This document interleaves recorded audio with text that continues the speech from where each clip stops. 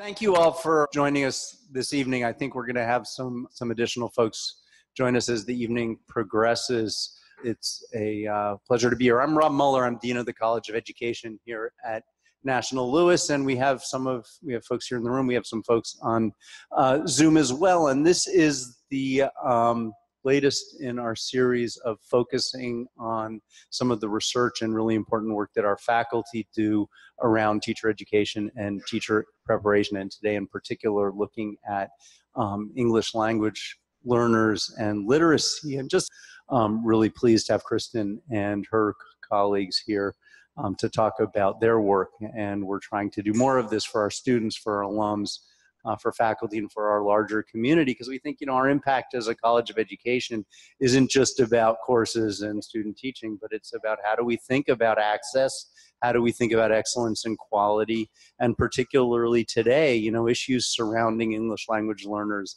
Kristin Lems is a senior member of the faculty here at the college of education. She's focused on esl and bilingual education for um, most of her career. Many of you probably know her more as a musician and have seen her, you know, in uh, playing around town. But uh, she also is a terrific teacher and educator. So with that, I'm going to turn it over to Kristin to uh, set us up and tell us what's going to happen this evening. So thank you all for coming.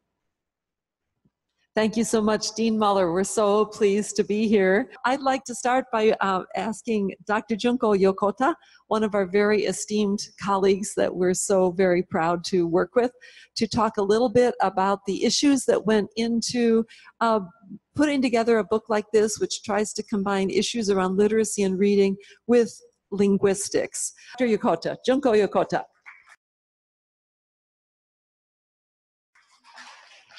Thank you very much. First of all, congratulations. Congratulations for a beautifully created book on so many different levels. I was pleased to be asked to be a part of the, um, the group today in taking a closer look at this book because it took me back to both my teaching years and to my own personal childhood. I was the child who was sitting in your classroom who knew no English. English is my second language. And my mother sent me to school knowing one sentence, or rather, a question. Can you imagine what my mother sent me to school being able to say? Absolutely. She said, You should know how to say, May I go to the bathroom? That was it. That was my entire English vocabulary when I started school.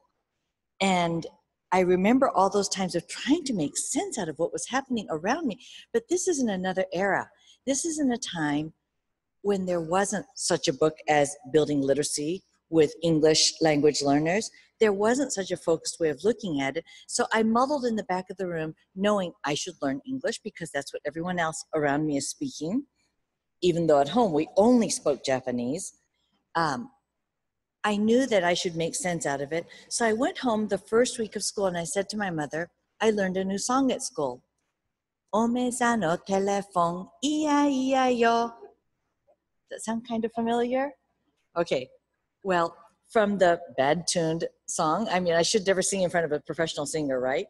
Um, I had heard this line and I interpreted it as Omezano telefon ia ia yo. Well, you can hear that there's some similarities, but it's not the same.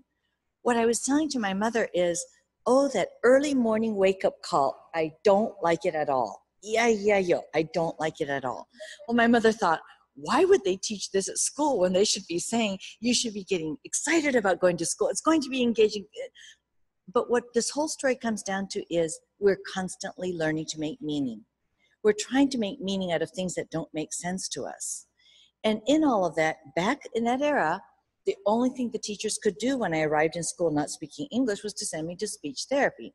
Because i couldn't say television i said terebi i couldn't say radio i said radio these are all legitimately Japanese ways of saying it.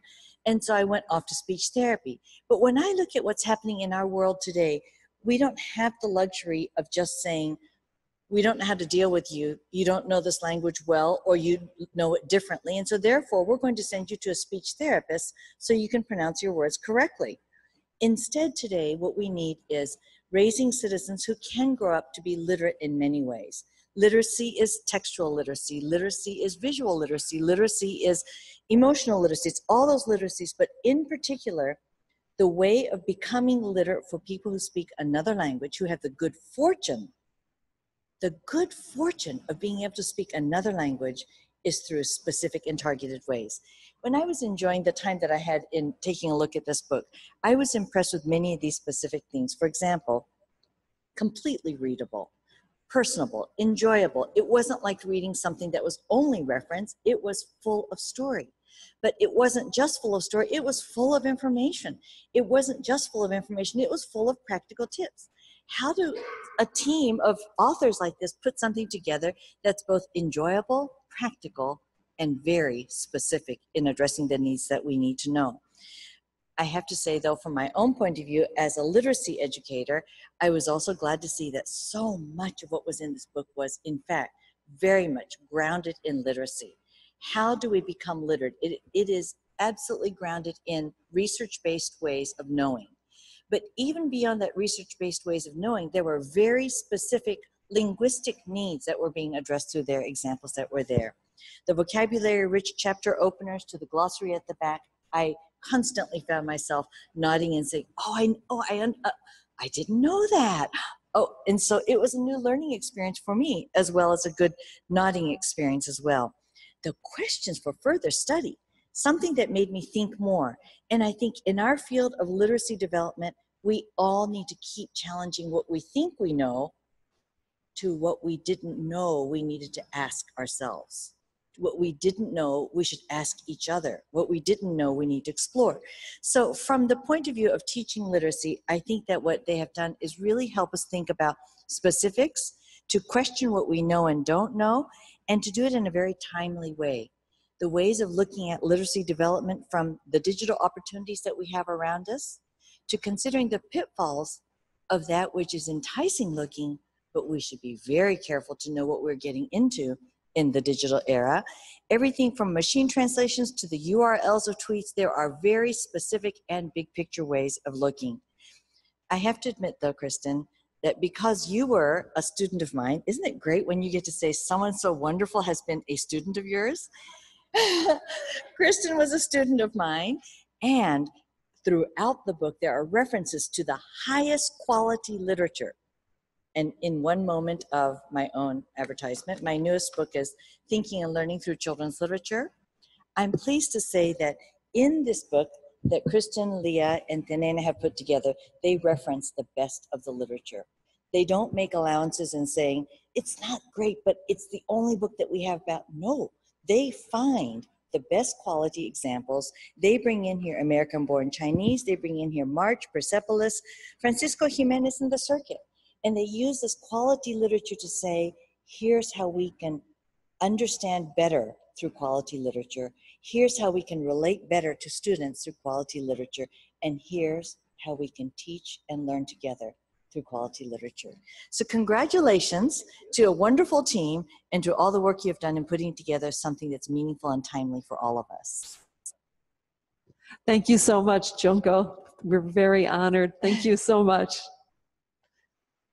Oh, am I blushing? okay, so as we move into the presentation, we will remind you of how we got into this to begin with. Three professors teaching the linguistics and reading graduate course could not find a suitable textbook focusing on the linguistic aspects of English language education.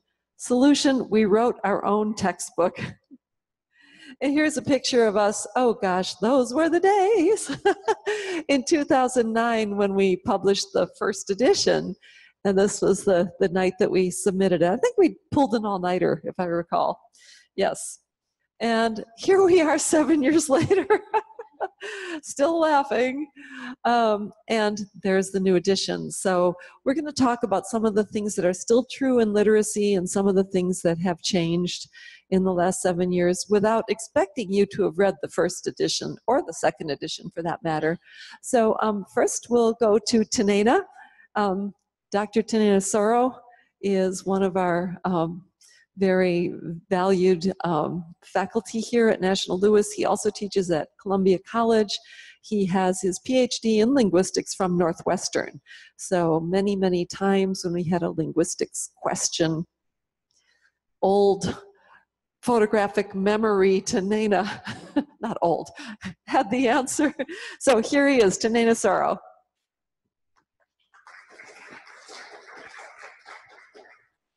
Thank you, Christine. Where do I start? what? Oh. well, um, I want to take a minute to thank Junko for her introduction because uh, I could relate to, to your experience, and I'm going to share a little bit later about it. So, um, anyhow, these are the things that I'm going to be focusing on the language, language-based theory of learning by Halliday, BICS and CALP by Cummins, and languages and literacy as human rights. Um, still true is Halliday's language-based theory as you can see here, there are three main areas that our learners have to deal with on a daily basis. They are learning the language, just like children learn their mother language. Um, and they have to go through stages, except the pre-linguistic stages of the cuckoo and ba- uh, gaga, you know, uh, they don't go through those stages. They are also learning about the language, meaning that they are learning about grammar and the sentences of uh, sentence structures of uh, the language. And at the same time, they are learning language, they are learning uh, through language, meaning English, all the content areas. So it is a challenge for them. And we as teachers, we have to make sure that we cover these three areas for a balanced literacy. Okay. Um, of course, Michael Halliday's theory is getting more recognition these days. And his first theory has now morphed into what is known as systemic functional linguistics. Some call it systemic functional grammar. Um, the contention here is that the uh, systemists focus on what is known as repertoires. Because as speakers, we engage in language use in different social contexts. And based on those contexts, we rely on our own repertoires. And the role of the teacher is to make sure the, the student expand those repertoires when they are to deal with different social contexts, such as a job interview, you know, or science, or social studies, you know, very context-specific areas. Or even when it comes to formal versus informal, all those contexts are re relevant for the um, uh, functional ling linguists because they, differently from um, the innatist, they focus more on the social aspect of language. And of course, Vygotsky is part of the group. uh, still true.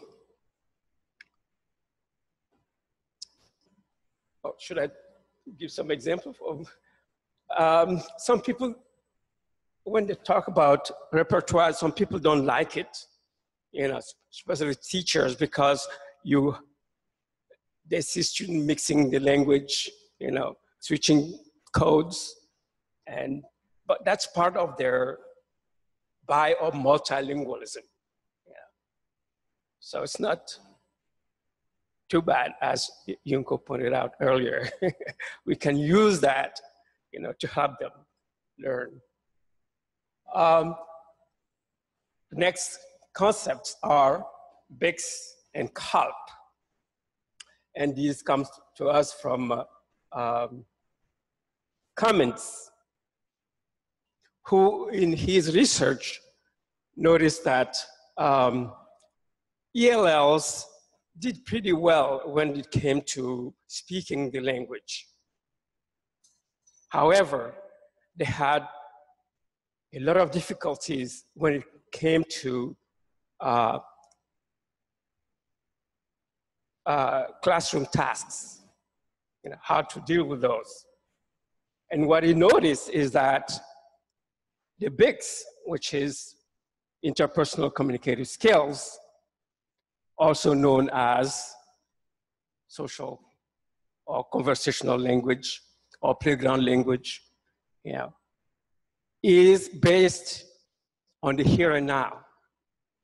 You know, where the uh, student can see your facial expressions, your gestures, you know, and can um, take the meaning from that context. And that's why uh, BICS is what is called context bound. Okay? uh, as opposed to CALP, which is cognitive language academic proficiency. And this is the language that is mostly used in the classroom, where you can rely on the facial expression or gestures of the speaker. All is textbook related, and you have to make meaning out of that. And CALP is what is known as academic language. And most, if not all, the, uh, the standard standardized tests are going to be CALP. So to succeed in school, our students need to be in possession of CALP. And um, shall we move on to the next NCLB, we all know about what NCLB is, right? And No Child Left Behind has noticed the importance of those previous two concepts. And I've included them in um, NCLB Act, where we see more focus on academic language for students to reach their AYPs. Yeah. And of course, standards came into play. Now there is, uh, when you, you study vocabulary, there tier one, tier two, tier three, etc. Okay. Um, now, language as a right. This is nothing new, but it is not well accepted yet as a concept. Um, when we talk about bilingual education, you know, bilingual education recognizes the home language as a right.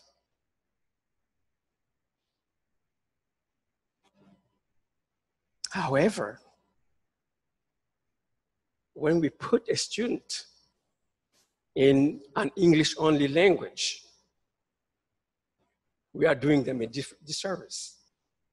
Yeah.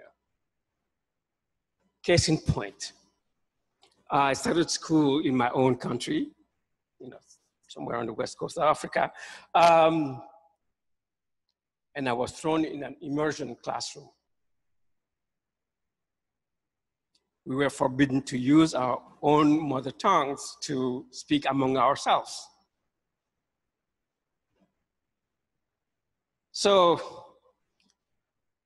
at noon, you know, when everything closes down there, you know, everybody goes home for lunch. So I went home for lunch and I told my parents, I'm not going back to school. What? Not going back to school? Why?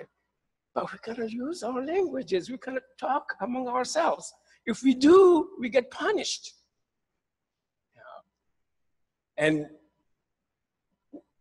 there was this, you know, um, animal jaw that you had to carry around your neck. And if you spoke your mother tongue, not only were you beaten up, but yeah, you were, the teacher would whip you and um, uh, all the students would make fun of you and also take turns to, you know, that was the incentive. yeah, for you to adopt or learn the school language. Yeah, but UNESCO um, has been advocating for not only the use and maintenance of mother tongue education, but uh, for those languages that don't have written languages to be able to use their um, or develop their mother tongue uh, through formal schooling. Yeah. Um, yeah. Um, a good example that we have in the United States comes from Puente de Hozho Elementary School in Flagstaff, Arizona, where they have a two-way bilingual education with Navajo and uh, English or Spanish and English bilingual education. And you can check it out. It's on the website. You, you, you, you can see how well they are doing. Yeah. And on this note, I will turn it over to my dear colleague. Thank you, Tenena. It's my section now. I put these markers so that we'd remember who went first, second, etc. So I'm going to talk about these things. The role of oracy. Oracy is a word that you might not have heard before, and it's a word that we'll tell you about. Also that there are new forms of texts and um, new forms of text structures with the internet revolution, and also that there are new forms of reading as well as new words. So oracy is like parallel to literacy. The idea is that oracy is the speaking skills, not just speaking, but also listening. And literacy is considered to be reading and writing. For a long time, literacy was not expected or not intended to include the oral skills. And we now realize it's much more of a continuum, it's much more of a complete process to become literate in a language. You're learning its sounds, you're learning to make its sounds, you're learning sentence structures by listening. So we really picked up on the importance of oracy when we were doing the first edition of the book, and it's only been proven to be more important over the years. The top road, listening and reading, was often in the past considered to be passive or receptive. You just sit there and listening happens and reading happens. We know that's not true because if listening would make you able to understand the language, you could just keep the radio on all night while there's another language playing on it and you'd wake up bilingual. it doesn't work that way. You require interactions. And we know that speaking and writing is productive or interactive, but all four of them together are necessary to become literate and to become fluent in a language. So oracy is something that language teachers have thought about for a long time, but they tend to stress speaking rather than listening. And um, more and more evidence shows that listening is absolutely a key to learning a language and to becoming literate in a language. So um, I'll just give an example for myself. Um, sometimes I listen to All Things Considered when I'm in my car. and I might hear it at four o'clock, and I might still be in my car at six o'clock. So um, I know some of you guys have to go. That's fine. Don't be a bit embarrassed. I know that you you're only here for a half hour. We're very happy you're here. No problem if you have to leave. Um, so sometimes I hear a, a feature on All Things Considered at four o'clock, and then I'm still in my car at six o'clock, and I hear it a second time. And I'm always stunned by how much I missed the first time through. And I just think, did I understand that at all? And I think that's true whether it's your native language or a new language, that um, repetition is sometimes necessary to really uh, pack it into your brain for later use. So um, there are many, many ways in which listening helps build literacy. And uh, we pay a lot of attention to that in the book, and we ask teachers of English language learners to work on listening activities. Working with students every day should involve some listening activities, not just uh, listening to the teacher, but you know, listening to each other, peers, and so on. Now, one thing that we've added in the second edition of the book that wasn't in the first edition is something that we found at um, Cambridge University, Cambridge College in England, which is called the Oracy Skills Framework. And we were absolutely thrilled to find this. It's Dr. Neil Mercer came up with this and, and his team.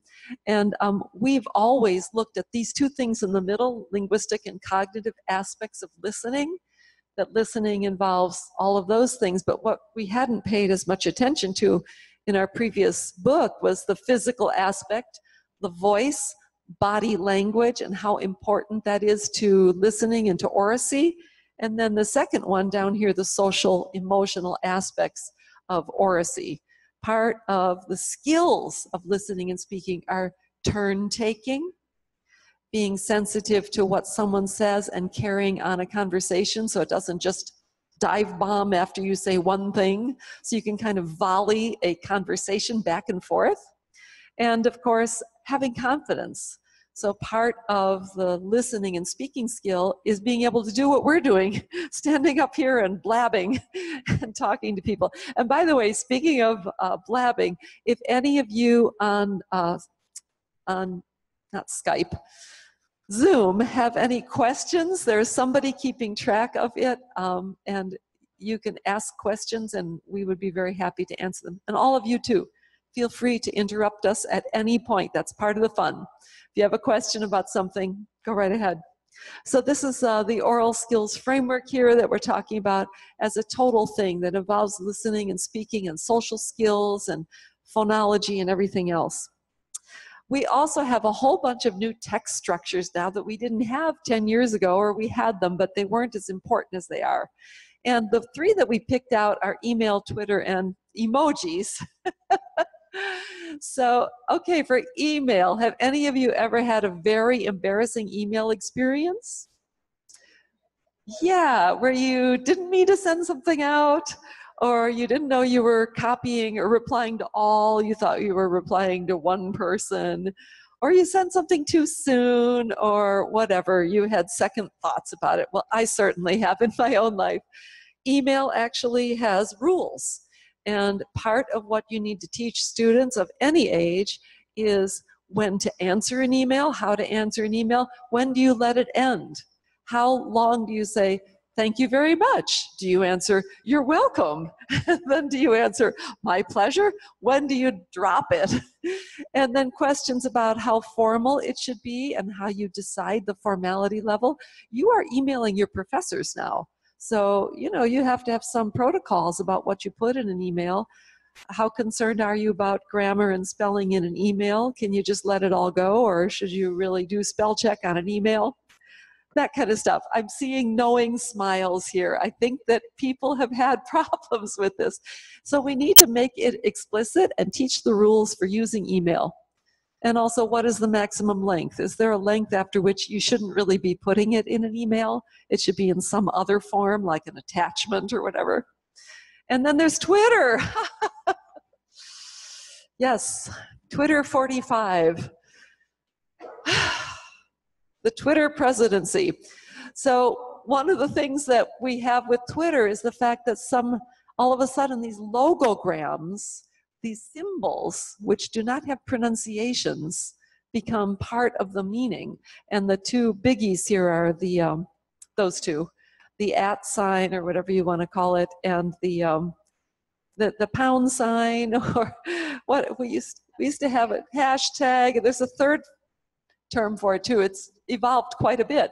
But when those are in front of a word on Twitter, you know they mean a, a certain thing, that it means that it's somebody's uh, handle. And, or no, the at is the handle, and then the, the uh, hashtag is the subject. So those are very important to find what you're looking for. They're part of the meaning of it, but you can't pronounce them. They're symbols, they're like Chinese logograms in the sense that they're not alphabet letters. So then you have to figure out retweets, replies when you're trying to read a tweet and responses to it. That little line down the left side, which tells you that it's a response to the tweet. Very important stuff. And then also, can you use a tweet? Can we teach students to write tweets? And uh, one of the people we quote in our book uses tweets to summarize something the students have read. They have 100, is it 40, 140 or 120 characters uh, to summarize something. That's a great activity for summarizing. And maybe it's going to double soon, is that right, Anthony? I think they're going to allow 240 now, or I don't know. And then there's emojis.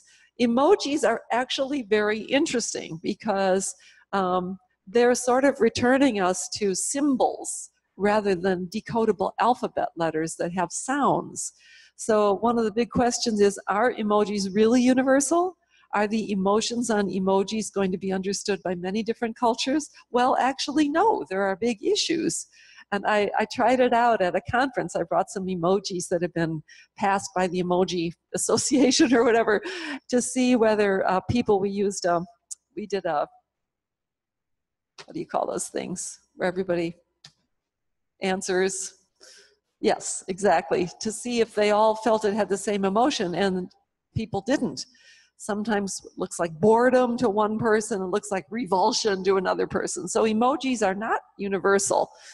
And also, um, when you look at a string of emojis, they might constitute a sentence. They sort of have a syntax. What order do you put them in? This is my favorite cartoon, and I'm going to read it out loud if it's too small for people on Zoom.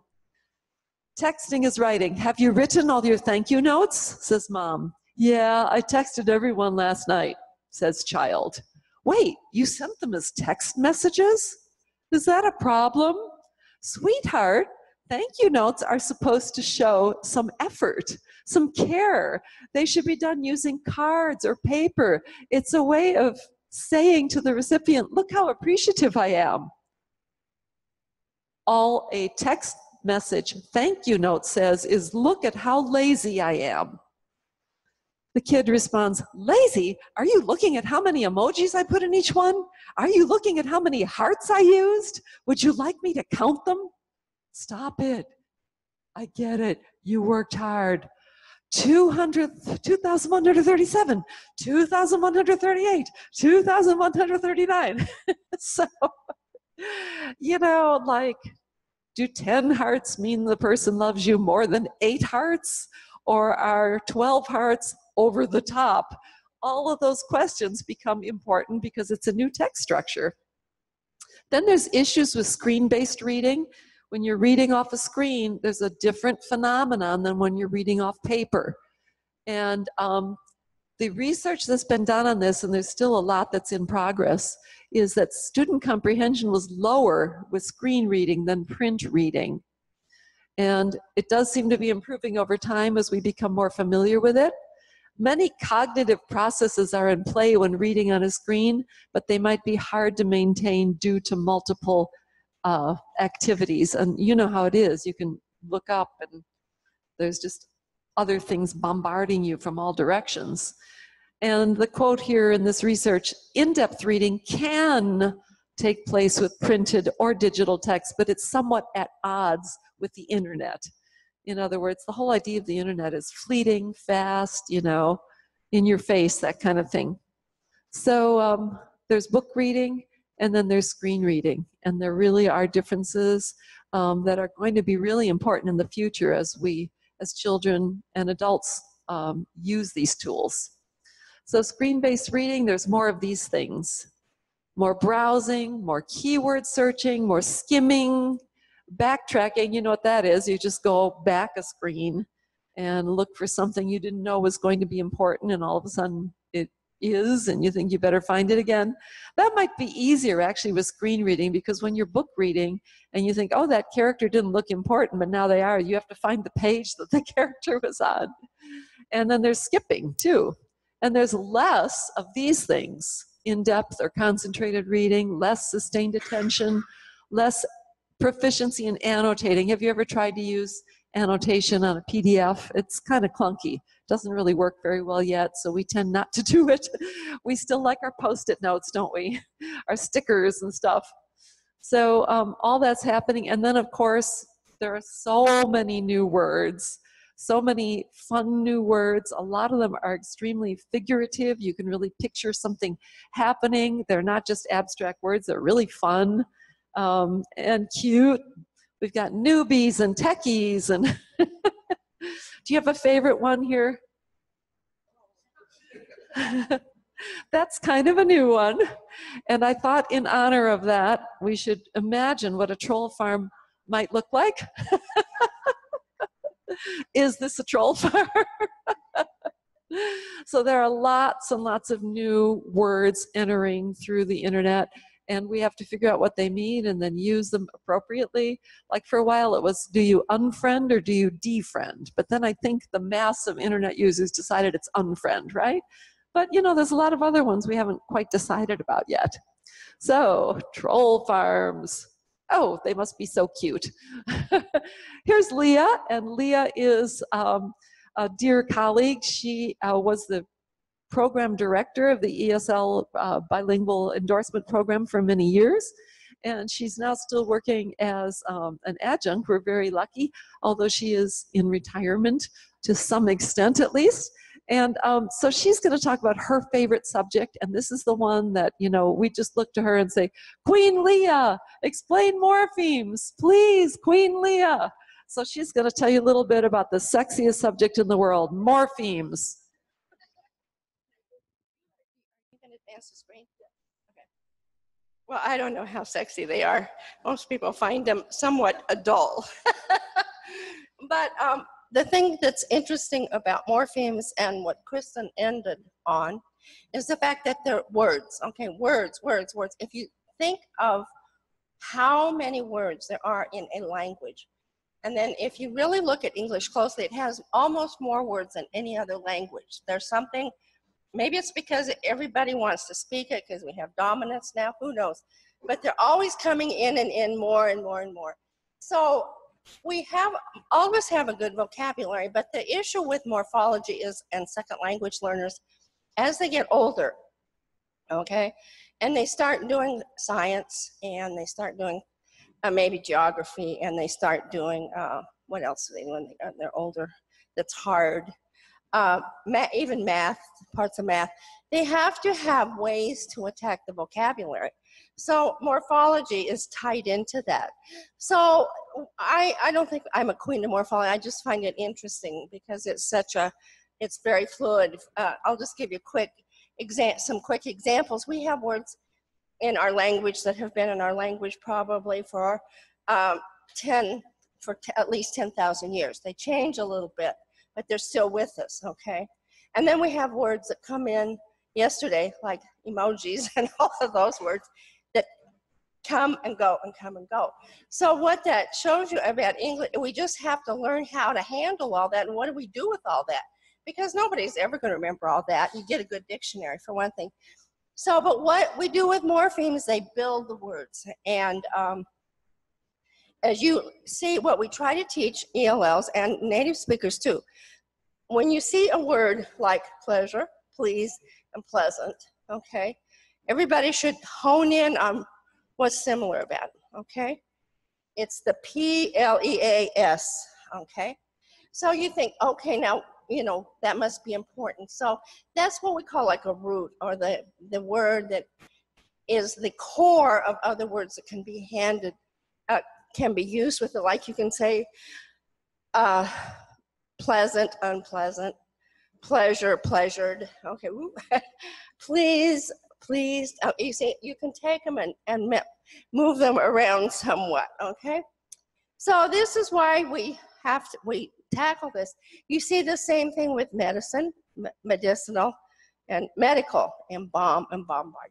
So I was just going to tell one thing that happens with morphemes is this: you, you can change your pronunciation of the this the main morpheme depending on what you put before and after the, the main morpheme. So when I was a kid in school, I'll remember in the sixth grade, I'll never forget this. We were in science class, and the teacher kept talking about centrifugal force, centrifugal force. And he, you know, he went on and on. I think we studied centrifugal force for two weeks, okay, or three. And I, I had no clue what he was talking about.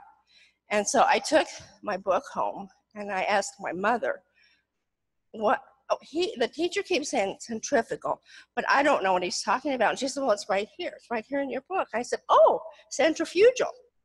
And- And she said, oh, you see, if you don't know the pronunciation of the morpheme, you're not going to click into it. I said, oh, it's not centrifugal, it's centrifugal. How would I have ever known that? So when you teach children, you know, there are these words that you, you need to say them sometimes because it just doesn't dawn on them. So I think that's really interesting. So that's part, okay, we'll do the next one. So more, the morphemes, we, Chris and li- developed all these triangles, which are really very helpful. We have millions of lexical morphemes. And so that's why they're at the very top. And they form the majority of our words. They're the nouns, the verbs, the adjectives, and the adverbs. Those are the heart and core of any language, right? They come and go also, and we can add stuff to them, we can take stuff away from them. There are content words, uh, they're the, the vital organs.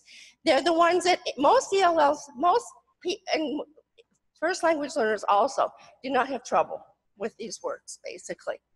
Okay, Good thing. Okay, then we get functional morphemes. In, native speakers of English don't have trouble with them either because we hear them, okay, all the time, and they're part of our sentence. But if you are a second language learner and you see preposition, how many prepositions are there in English? At least 300 to 500, okay? And they change. Every time you put them with another context, they have a different meaning. So they, they are really hard, okay, for second language learners. And they'll ask you, how do I learn these? How do I learn these? Well, the main way you learn these is to listen and read and just kind of let it flow in, right? I don't think you really can learn them. Okay, so the trouble with function words, okay, then here we go. You have these ones that I still get confused, two, two, and two, okay? Um, it's and it's. How many times in your life have you written IT apostrophe S when it's ITS? If you haven't done it, you are a model student, okay? I bet some of you have done it even as graduate students, okay? And sure enough, the teacher's gonna go, uh-uh, you know. So that's an easy one, okay?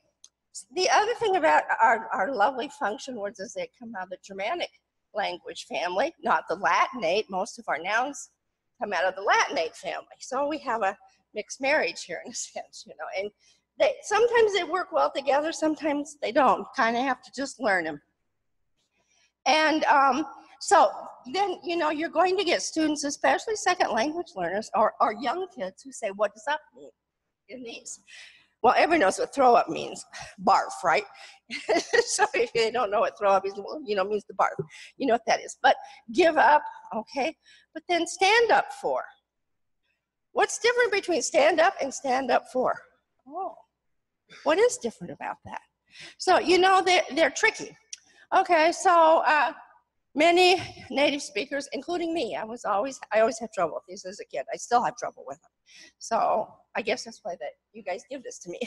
okay, so the, the new thing is when the little, you can look at words and you can see how they're put together, and that'll pick, give you uh, your vocabulary will increase multi.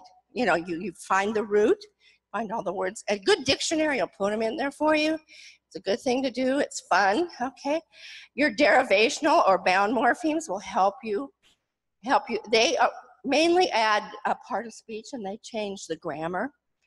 As a teacher, I would not even attempt to teach these to any students until they maybe were in high school. This, their function, okay? I would just let them try to absorb it because it's very, very difficult for them to understand why do we even have to worry about this, okay? You don't, but at some point you may become weird, like uh, those of us who went into linguistics and language, okay? And you kind of want to know what, how does this really work? And so that's what bound morphemes are, but they, they, they, you learn them kind of like as a unit. You don't break them up. Um, next one, I think that's enough on that. So here you have your inflectional morphemes. They're at the very bottom of our triangle. Those are the most interesting. They're most, many of them are verbs, okay? There are seven or nine, it depends on who you talk to, but they, they click on like this, they click on to the root and they change the meaning and the function. So, so here we have some to show you how these work. Okay, some of these I think are just, are, I couldn't figure out if they were real or jokes. But like Tommy, okay, this, uh, the surgeon cut something like, uh, who can give me a word that has T-O-M-Y in it? Yeah, otomy, okay. See how I said Tommy, when you put it with another word, say it, Kristin. See how it changes pronunciation?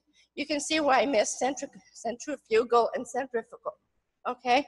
Uh, ectomy, okay, I think we can think of that, uh, uh, tonsillectomy, appendix, what's another one? Appendectomy, another? Which one? Oh, what is that? Knee. Oh, great, great. That's good. I didn't know that. Okay. Uh, ostomy. Okay, that one. Uh, anybody think of some ostomy words? Yeah, when ostomy supplies, we won't go into that, but I think you know what they are. They advertise them on TV all the time, late at night. so, okay, plasty. Uh, and uh, see, I don't know these. What is a plasty? Which one? Rhinoplasty. Oh, you get a nose job, right? See, isn't that interesting? Because nobody ever says, "Oh, she had rhinoplasty." That's she had nose job, right? Because it's so hard, but it, we should be able to do that. Um, pexy is where the uh, surgeon goes right to the moves the organ to the right place. Now that's I don't know. Is that real? Yeah, maybe. And then anybody know? And then the other two, I have no idea. Uh, the surgeon sewed something up. You hope it's he didn't sew up the sponges, but that you sewed up only your body. And then this, uh, the last one is the surgeon made two things stick together. But this just shows you how they vary, how you put them with other words and get the words. So that's the fun thing with morphemes. That's it. I love language words. I hope you love them too. Thank you. Leah. Careful. And finally, we have one of our star students. We're so fortunate to have Misty J. Richmond here with us to just uh, talk about how she applies some of these practices in her own classroom.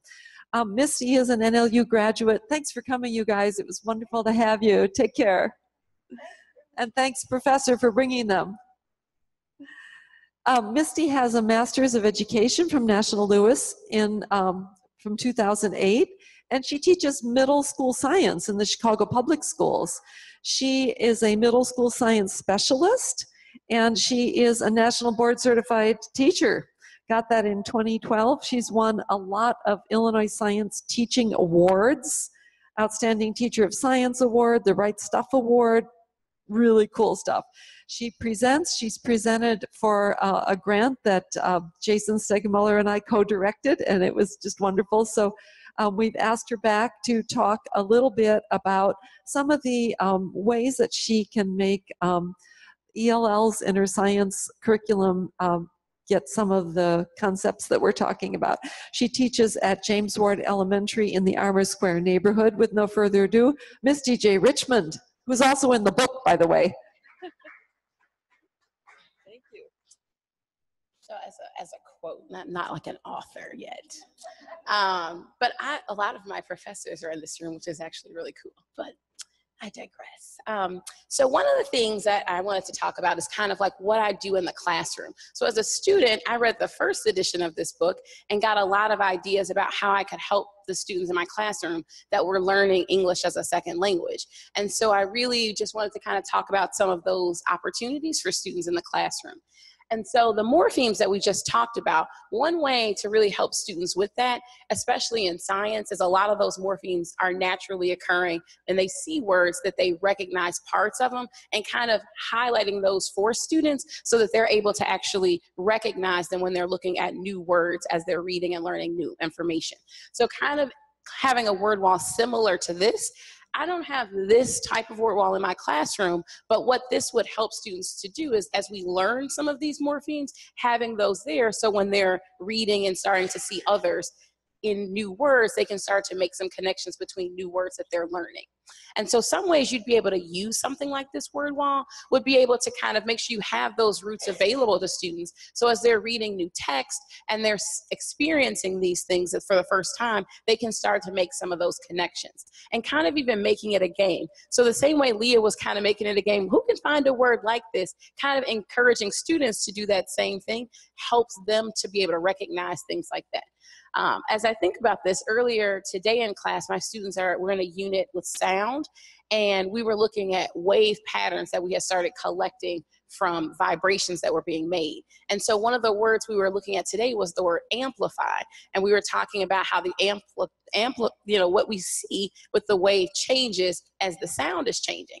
And so what was really interesting is when I asked the students, well, what words do you know that are related to sound that look like this word amplitude. And so they were able to, you know, someone was like amplify. In four different classes, a student was able to come up with the word amplify. And so I was like, oh, that's okay. Well, what does amplify mean? And they've had experience with amplify means to like make it louder. And some people have parents or like someone that works like as a dj and so they were like you have an amplifier and it like makes the sound louder. And so then i said okay so if we look at this graph what is this amplitude showing us? And they were able to connect volume with amplitude to be able to be able to explain this graph that they'll be able to use later on as we continue talking about those things. So it really does help them to be able to connect to words that they're using in concepts that they're learning in science class um, and just kind of makes them more aware as they're looking at new words.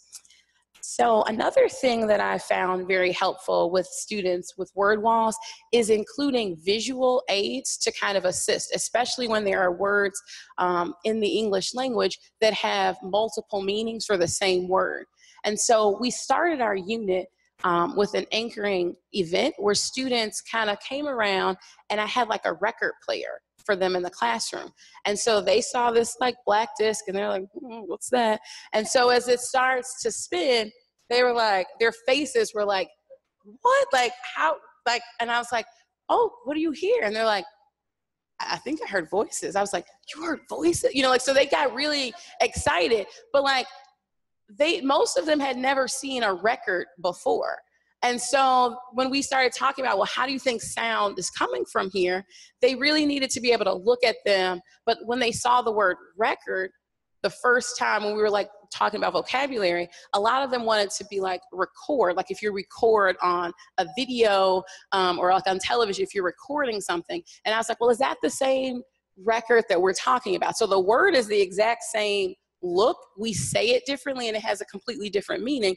And so we wanted to make sure we had a picture of a record that we were talking about attached to it. So when we're using that word, we know how that happens. And so like even today when we talked about volume, one of the students was like, you mean like the space that it takes up? And I was kind of like, well, is that the volume that we're talking about right now? And so like they start to recognize like, like I thought I knew what volume was, you know, like in math, and now you're giving me a different you know, context for that word. And so then helping them to kind of connect those things. And so a lot of times having like a visual or some sort of representation kind of helps support them um, in that kind of a way. Um, so one of the things that I find with science that's really helpful with second language learners is this idea that science is so hands-on. I bet everyone in here at some point in life remembers a science fair project. Either you were you had to do one, you had to help someone with one, you like saw someone working on them. And so it's really this idea that students get to be able to present their findings from a project that they've done.